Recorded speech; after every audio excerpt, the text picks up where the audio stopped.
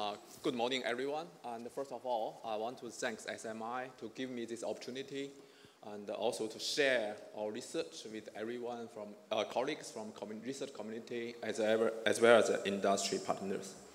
So today, I'll give a very brief introduction about our research work on the numerical modeling of strong wave impact on deep sea semi-submersible. Is a short, in short, is a WID-Sea. Uh, first of all, I want to introduce what's the innovation and why we should do this project in the beginning. Uh, first of all, we found is for the floating structure platform design, it has a very strong demand from industry, where is a reliable and accurate uh, numerical tools still pretty much lacking. So in this way, and we found that there is an urgent need for us to put a realistic simulation tools for the industry use, which should be the low cost and the high efficiency and also high accuracy. So this is the motivation. Uh, there are a few, quite a number of challenges. First of all, if you really want to serve the industry purpose, we have to address the wide, very wide sea condition, or we call it a very harsh environment. So how do we build the model numerically to reproduce these are very strong waves and also very strong nonlinear coupling between wave and structure. This is a big challenge. So this is first of all, our policy is a realistic sea state condition. Uh, we found in most commercial software, we, still cannot provide this capability. Second part is uh, for most of uh, associate with a harsh environment, the either platform or floating structure often subject to very big, large-scale displacement and uh, how we can really simulate this uh, large-scale displacement is another, another challenge. Here is mainly coming from the both phys physical phenomena as well as a numerical challenge. Uh, of course, another part, we need to provide uh, open source and also low cost and uh, keep the flexibility and scalability of the tools. So based on this uh, consideration, we build all the platform based on the open source. It's called OpenFOAM is a open source computational fluid dynamics tools. Uh, of course, another part we need to address efficiency versus accuracy of the issue. Uh, also, with the computing, high performance computing development work, we have to address, oh, sorry.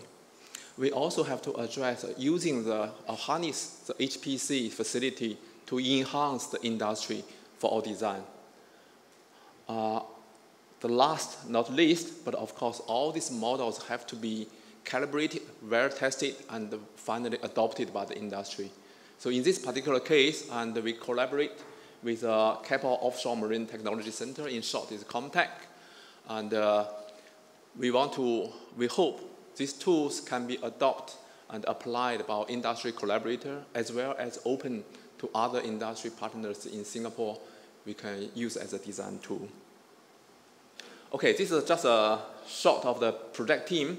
Uh, the project is a coming project team coming from uh, researchers from A*STAR Institute High Performance Computing, as well as uh, KOMtech, and is sponsored by the DWT SMI DWT, DWT program, and for last uh, two and a half years. So the project objective is uh, we want to develop advanced simulation tools for the wave impact on the floating platform. As I mentioned, it's, uh, everything's based on the OpenFOAM and it's a computational fluid dynamics modeling tools package. And we address extreme wave conditions. And also we target for semi-submersible and tension leg platform, which is the most uh, uh, uh advanced platform industry and and gas are, are using. And for target, we addressing the air gap and also pressure loading, hydrodynamic loading, as well as the keeping performance of the platform. This is uh, what we are doing in the project. Uh, there are quite a number of different uh, components we, we, are addressing. But here um, we can characterize into three parts. The first part is uh, we consider the environmental state, which include extreme wave condition as, as well as wave current interaction. The second part, we need to develop new numerical schemes, which we need to address is the far field and the near field coupling. This, uh, we achieve a balance between the efficiency and accuracy. And another part is we create a new tool for the dynamic meshing, which is uh, tailored for the large scale displacement. And also, of course, we need to address the structural response from the mooring dynamics, structural kinetics, and also six degree of response.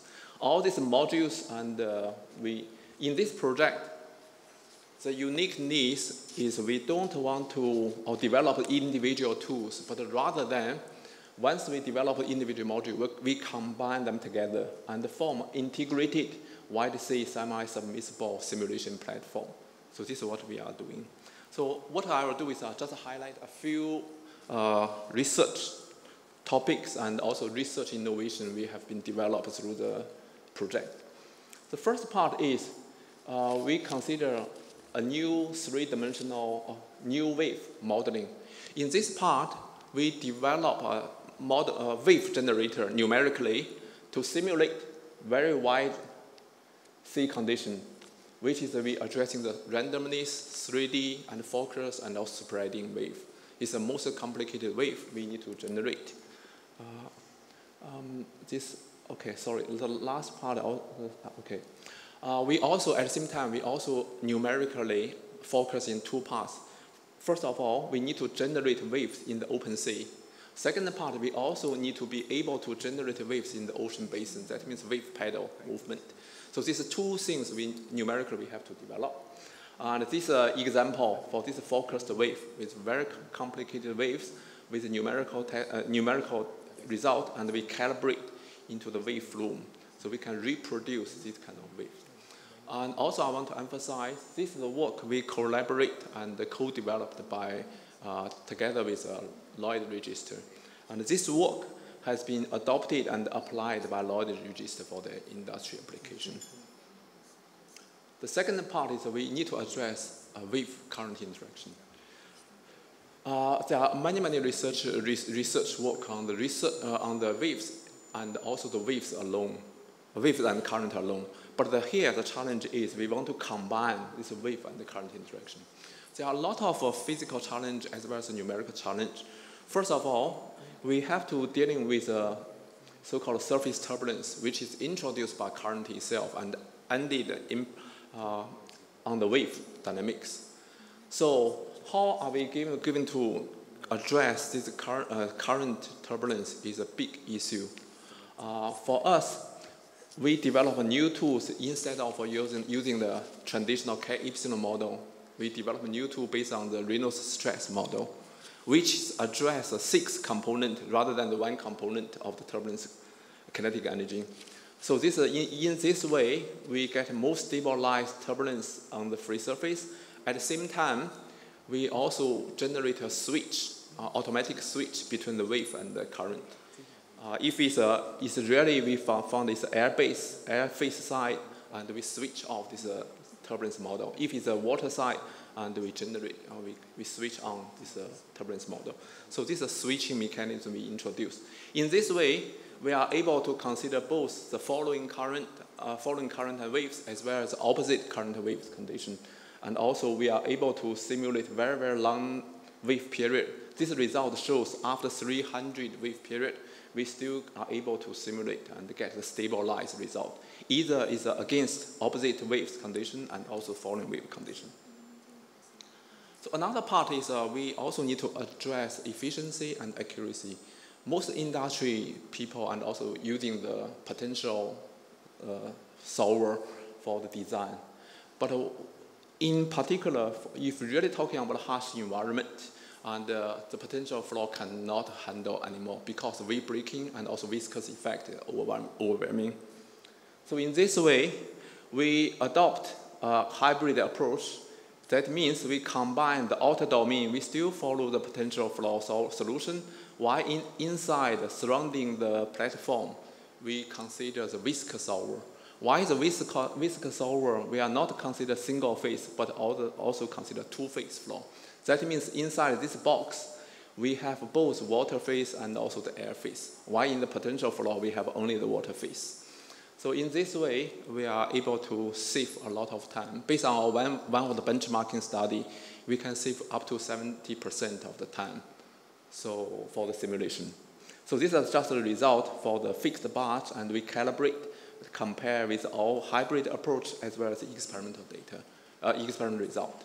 So in this way, we create relatively efficient tools where the industry can still use their potential flow solver why they can introduce a new dimension of accuracy inside the, the near field. Okay. Uh, that's another part with addressing the large scale displacement. In this part, in this work, we develop a, a new dynamic meshing tool based on the overset meshing. In this way, uh, we, for any structure movement, we create another set of the so-called computational cells which is fully coupled with the structure movement. And then there's a, another background mesh, which is dealing with hydrodynamics. Uh, in this way, we are able to, to consider very large displacement. For example, this uh, extreme case, we consider the platform sinking, and also this uh, platform oscillation, we are able to simulate this part. And also, uh, we file a technology disclosure on this technology. Of course, there's another part. Finally, we have to integrate all these different components and do the real industrial application.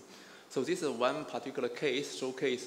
In this part, we consider both wave current interaction, six degree of freedom response, and uh, structural kinetics, and also the mooring dynamics, and apply to this uh, platform.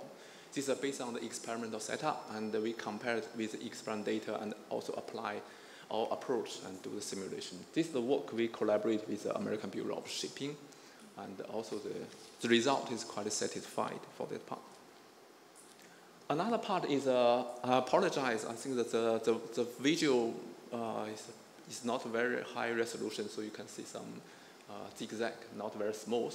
But basically, this uh, KVLCC tanker study is a floating structure. We apply the same platform and consider different of the uh, component inside. And uh, you can see this boundary. Inside this boundary, in fact, is a viscous solver, and outside the boundary is a potential solver.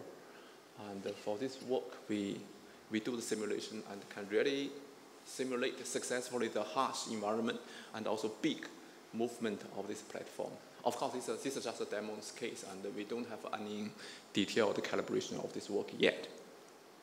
Uh, with all this, I think I want to thank everyone. And as I mentioned, all this platform we develop and target for the industry application.